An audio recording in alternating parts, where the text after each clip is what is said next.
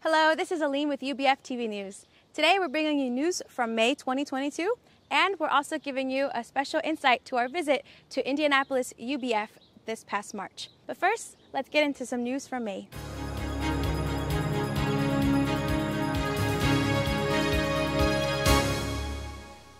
In Germany, there was a small conference for Encounter coworkers in Heidelberg.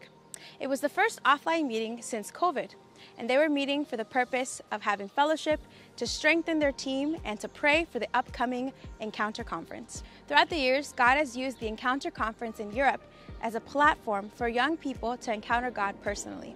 They pray for the mission of UBF Church, that God may continue to call and raise lay missionaries through them and send them to the ends of the earth.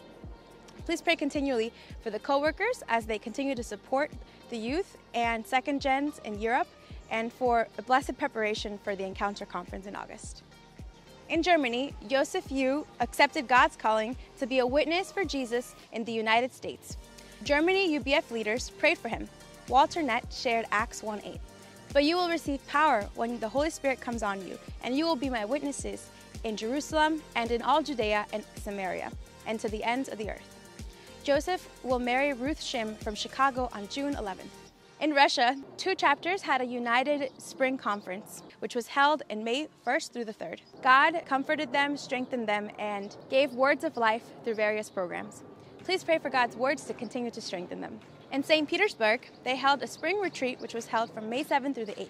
The theme was Jesus, the bread of life. There was two messages based on John 6 and Luke 19. There were four testimonies.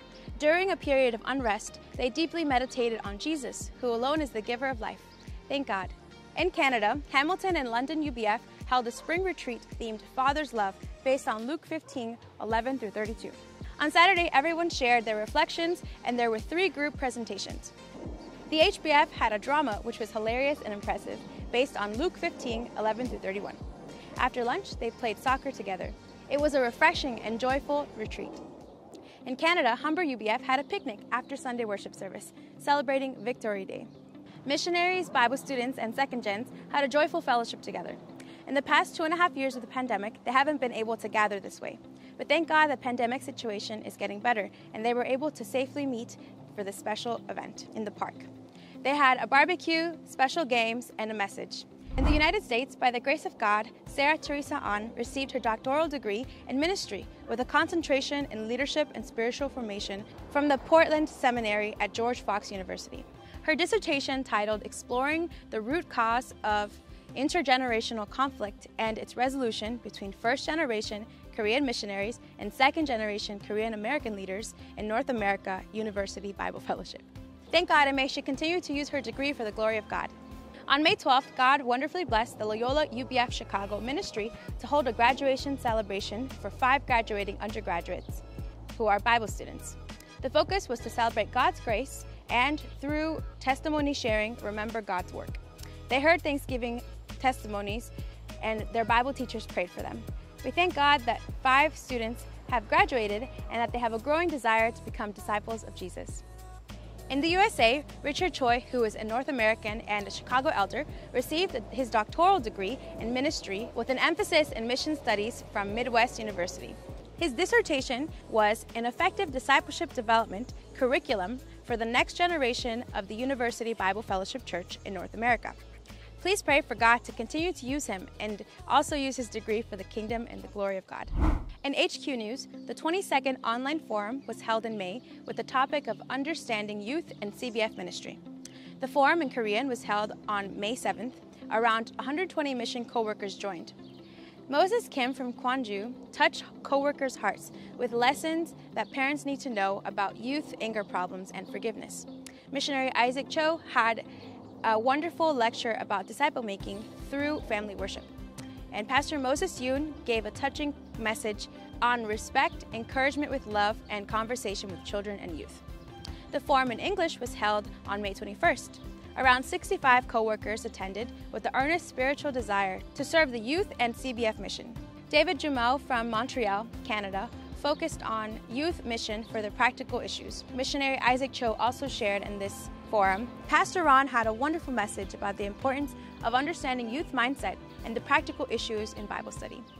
On May 24th through the 26th, 10 UBF leaders, including Pastor Ron Ward and Jose and Maria Ahn and others, joined the Kingdom Intermissions Network Forum in Seattle, Washington, USA. The Missions Leadership Forum gathered to participate in roundtables, discussions, presentations, workshops, worship, and fellowship of the Word. Dr. Jose Ahn from Chicago presented about the unique specialty of our UBF lay missionary movement with the title, The Spirit of Tentmaker Mission and the Future Direction. Thank God for a blessed and Holy Spirit anointed forum. The International Summer Bible Conference is going to be next year, August 2023, at UIUC campus in Illinois. The ISBC committee decided on the theme. It will be His Glory, based on John 1:14. The Word became flesh and made his dwelling among us. We have seen his glory, the glory of the one and only Son, who came from the Father, full of grace and truth. Let's pray to see his glory and experience his grace and truth personally and as a community. Let's also pray to renew our vision and calling to display his glory throughout the world. We'll share more details about the conference soon.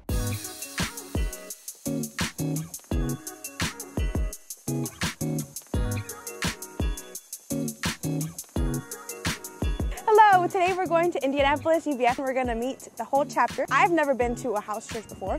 And yeah, so it's exciting. We're gonna travel, it's three hours. So that's it. The reason we went to Indianapolis is because I interviewed all the messengers for the Chicago United Easter Conference.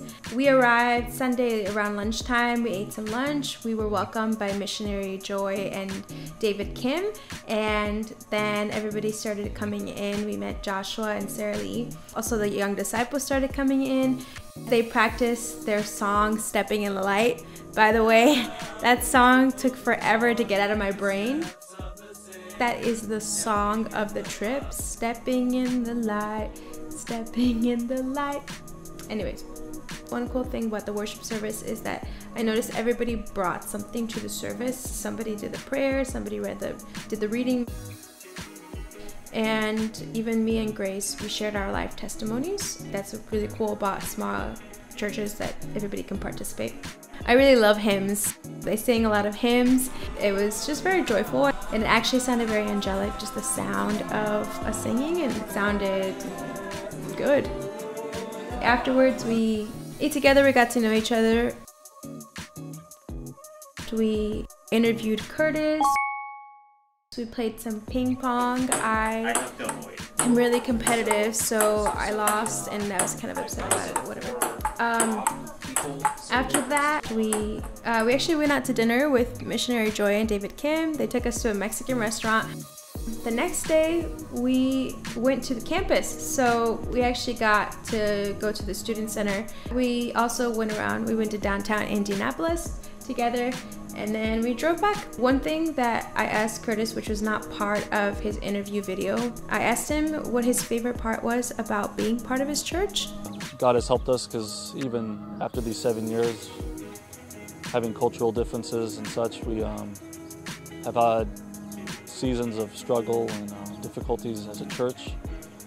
Um, but God has been faithful to keep us unified and keep us um, growing together and coming closer, knowing these people and you know spending seven years with them. You know you you know you go through things and they know me and I can trust them. That's the greatest thing I love about the church I go to. That the church is the people. It was beautiful to see how a group of people with different backgrounds and different cultures can really be united in love and in Christ. It's very encouraging also just to see the missionaries uh, just being faithful to God. So Chris prayed for me because this is a very difficult job to serve.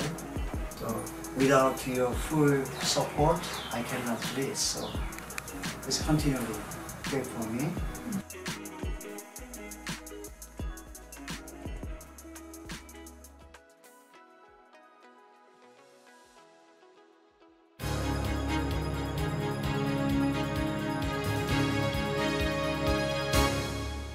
Now for weather. In the forecast, it shows that today, tomorrow, and forever, God is faithful. If we look at Psalm 119.90, it says, Your faithfulness continues through all generations. You establish the earth, and it endures. Amen. Thank you for watching UBF TV News today. See you next time. Ready? Oh Yeah, I've been Oh, been recording? Okay. Hi, my name is Aline. Mhm. We're here in Indiana. Mhm. Yay! Grace. Come on. Cut that.